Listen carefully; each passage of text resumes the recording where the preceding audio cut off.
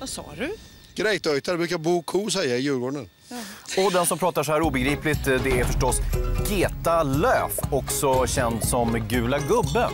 Jag trodde det var Mao. Du, det ser ut som han har spytt upp solsken på sig. Du, den här overallen, det är lite legendarisk måste man säga. Ja, den har varit med några år. Den är skräddarsydd. Det här som sticker ut här, det, det, det, vad är det? Det är på riktigt. Det är ingen jävla silikon. Nej, så mycket silikon finns det inte i hela världen. Vad det än är så hoppas jag att eh, Gula Gubben kan flyta på den. Såg du att han visade arslet? Såg du det? Titta igen. Ja, men bara halva om man ska vara riktigt nogräknad.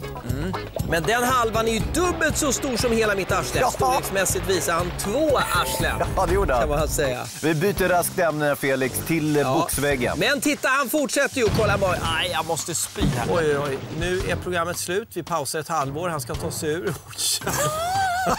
Fan vad tjock den är. Och byxorna kommer bli kvar i dyn också. Det här är skakande bilder. Damn shit! Upp som en sol, ner som en pannkaka. Nu har det blivit eh, bruna gubben. Ja, inte bajsmannen i alla fall. Jag är bara bruna gubben. Så att, eh, jag kör vidare nu. Jag kommer inte dö på den här banan än. Säg inte det.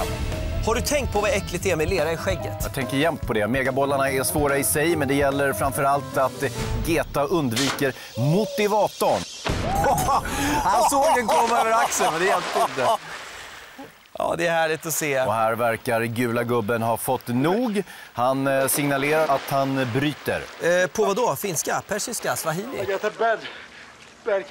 Geta säger att han fick en bad kallsup och blir liksom dragen i land. Som en död val. Geta, den där var du inte beredd på va? Ja, jag var lite överraskad. Jag hörde den. Han hörde den, säger han. Och eh, tittar man på reprisbilden här så ser man hur han vädrar i luften, liksom sniffar efter fara som ett eh, rådjurskid när vargen smyger upp bakifrån. Och då väljer det smällfeta rådjurskidet att titta åt vänster. Och det misstaget får tjockkidet betala dyrt för.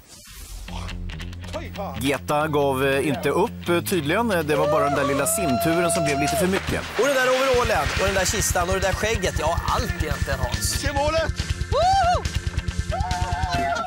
Vad fan ger man sig in på sånt här för?